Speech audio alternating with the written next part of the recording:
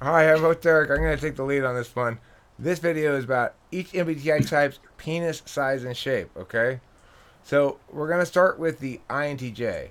Now, I'm thinking the INTJ, it's got a very effective penis. So it's going to be, uh, it's not necessarily going to be particularly long, but it's going to be conscious of the uh, all angles of that needs to get to. So it'll have a special bend to get to the G spot. It'll uh, it'll be girthy at one spot to give kind of like a, a ribbed effect, you know, and um, of course it'll ejaculate massive amounts of sperm. Well, it may not though because the SC is not guaranteed. Are you recording, Eric? But Yes. it's not efficient. Like if it's too much, like whatever is created is not efficient. Well, look, okay. Here's the thing: INTJ think- only uses their penis occasionally, but when they use it, they use it very, very efficiently. It hits the G spot. It's a double penis. It goes in the butt too. All right, next type. I No, no, no, no. Wait, hang on, hang on, hang on. We got, we gotta hurry through this. This is gonna be a seven-minute video, Lloyd. surely it would be a go-go gadget, Inspector Gadget No, no, no, we're type not there yet. That's ESTJ, Perfect. I think. That's a good idea, but I think that's ESTJ. Let's go to INFJ Okay. penis. INFJ penis is very, very well groomed. It's very um, patient. It's a patient penis. It sits there and waits for the vagina to invite it in. And it asks questions. How are you doing to the vagina? It has a conversation at the gate. Before the INFJ actually thrusts, he stops and lets his penis do some talking. And by the time he's done talking, she's already come before he even goes in there. So it doesn't matter what his penis is. Okay. So basically, it's going to say, "Are we all good?" Just before, uh, you know what? Right. Mm-hmm. It's gonna make sure everybody's on the same page. It's gonna it's gonna have a lot of disclaimers. Okay. Probably the INFJ penis has disclaimers printed on it. If she wants to read it, she can read it that way. Maybe a space to sign as well. Okay. now ENFJ penis. ENFJ penis is is mostly fake. It's mostly plastic and extensions and stuff like that.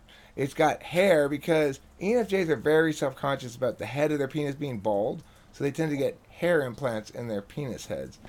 So if you see a man with hair growing out of the tip of his penis, that's an ENFJ. You can type them that way. Okay, next type INFP. INFP penises are very very sad. They're very they, they're very droopy. Droopy. They're very droopy, and it, when erect, they're still like this. They're fully erect, but they're still curved down. They're looking down. They're gazing at their shoes. Um, you know, INT penises or INTP penises are similar too, except INTP penises are mostly distracted. So they're off to one side. Maybe they're they're huddled up in their own pubic hair, reading a book or something. I don't know. The thing is, to get an INTP penis actually out to do the SE stuff, you pretty much got to be an SE dom chick. So you got to be up, go up to him and say, okay, hey, I, don't- I don't. You can sit here and think about it forever. I I'm just gonna cut right to the chase. I want you to come have sexual intercourse with me right now, and no, there's no there's no subtext here, INTP. Just come get it. And then finally, the the INTP penis comes and says, "All right, let's take a stretch. Let's see what's going on around here." And you know, it's probably like most things in life, it it humps for impact occasionally, like INTJ, but for impact, so it can put it in its life narrative. It says, "I'm a penis has accomplished things. I don't fuck very often, but that that one time I did, it was like four hours, and it was amazing." Okay, so um, what other? We'll just do the intuitives. what other intuitives are there? Let's see. ENTJ. ENTJ has a small penis. I'm sorry, they do, and it's not very effective. But I tell you what, it's extremely well dressed. Nothing wrong with having a small penis. I'm not saying that, but it's extremely well dressed. It's also it's small. It's also flat, so it's kind of like a phone, but but smaller. It's like it's like a square.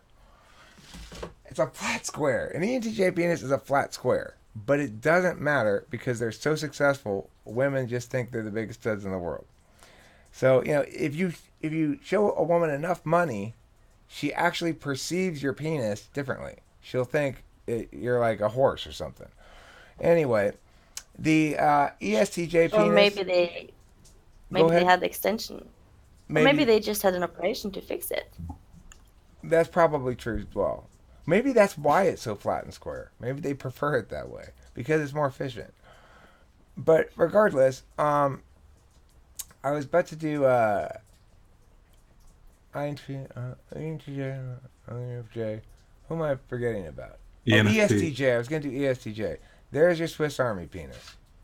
There's your Swiss Army penis. It's army penis. It's got everything you could use during sex. It's got a condom holder attached to it somehow. It's all flesh, though. It's all naturally growing and occurring in this fashion. It's really a deformity, but uh, ESTJ finds it useful. Some of them have a toothpick in there, too. Then that one is a little iffy because uh, how they stretch it all the way up to their teeth, I don't know. Regardless, uh, that's ESTJ, and I think I'm just going to do one more type.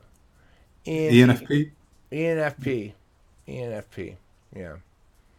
The ENFP penis is well it can, it, it kind of it kind of goes on and on a little bit sometimes like like an ENTP penis but you know you have to be careful with it because if you try to explain to it that that's not your vagina it might critique capitalism and then what are you going to do so okay, that's if you have one of those types, then you get your penis told about. But if you're not one of those types, I'm out of telling about penises.